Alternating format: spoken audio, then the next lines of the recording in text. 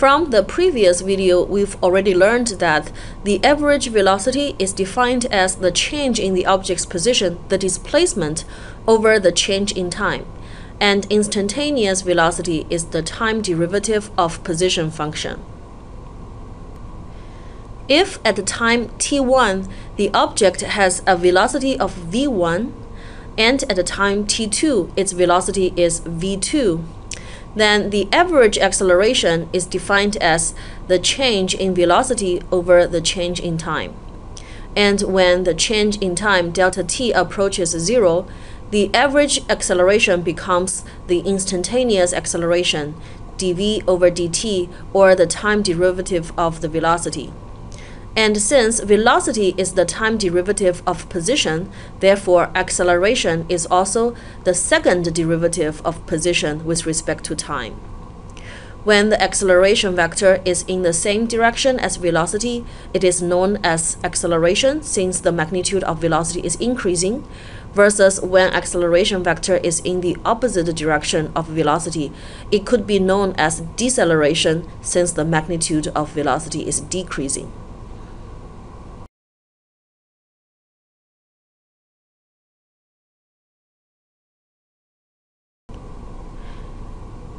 Now we have learned the first two basic kinematic equations that the velocity v equals to ds dt and the acceleration a equals to dv dt. So if we combine these two and cancel out dt from both equations, then we get the third kinematic equation ads equals to vdv that directly relates a, s, and v. This third equation does not involve time. These three are the most basic kinematic equations, although please keep in mind that there are only two independent equations since the third one is derived from the previous two. When you are solving kinematic problems, depending on what is given and what is unknown, it is up to you to decide what equations are the best to use. Let's look at some examples. Some problems are quite straightforward, like this one. The particle's velocity is given as a function of time. Initial position is zero. And we need to determine its acceleration and position at a time t equals to 4 seconds. Let's look at the first part, the acceleration. We have three basic kinematic equations to choose from our given information is that velocity is given as a function of time and we need to find acceleration. So we have v, t, and a, and naturally we want to use the second equation since this equation has all the variables of interest. So we start with this equation, substitute v with the time function, perform the differentiation, and get a equals to 2t plus 2 and this is the acceleration as a function of time. So at t equals to 4 seconds, we can evaluate acceleration to be 10 meter per second squared, and that is the answer. And for the second part of this problem, we need to find the position of the particle at a time equals to 4 seconds. Again, we have the same three kinematic equations to choose from. And since we have velocity as a function of time and we need to find position, in other words, we have the variables v, t, and s that we're interested in. So the equation that has all of these three variables is equation 1. So we start with this equation, substitute v with the time function, and rearrange. Integrate both sides. Pay attention to the lower integration limits here we got these from our initial condition that's given. And after integration and rearrangement, we get the position as a function of time. Now we can evaluate the position at the time equals to 4 seconds to be 37.3 meter.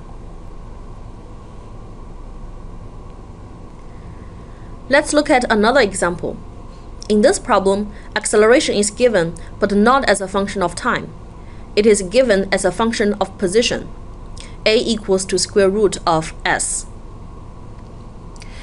And also, Initially, both velocity and position of the particle are zero, and we need to determine the velocity and time when the position of the particle is 16 meters. Again, let's first look at the first part, the velocity. In this first part of the problem, we know acceleration, position, and need to find the velocity. Again, when we look at the three kinematic equations, we notice that the third one has a, s, and v, all the variables of interest here. So we start with this equation, substitute a with the position function, integrate both sides. Again, pay attention to the lower integration limits. These are from the initial condition information that's given in this problem statement. And after integration, we get this. Rearrange, and we get this, which is velocity as a function of position. And now we can evaluate that at position s equals to 16 meters, velocity is 9.24 meter per second.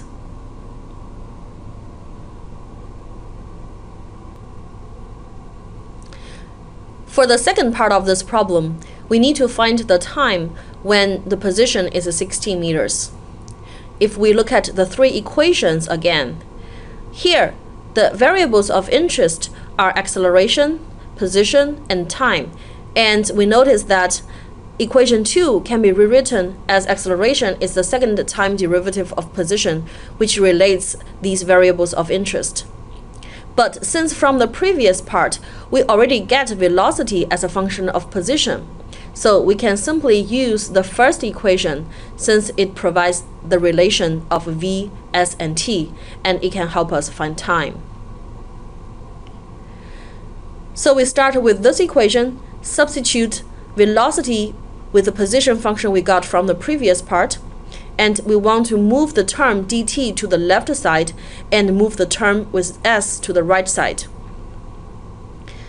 And integrate both sides. Once again, be careful with the initial conditions. And after integration, we get this.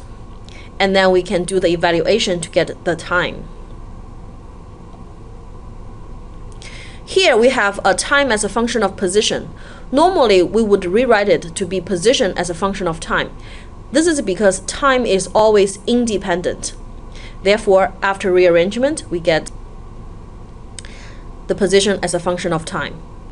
Or we can also get velocity as a function of time, or the acceleration as a function of time. As you can see, acceleration does equal to square root of position s. From these two examples, I hope you start to appreciate how important it is to choose the best equation to use. So when you see a kinematic problem, don't rush and jump right at solving it, but instead, make sure to take a moment and come up with a strategy.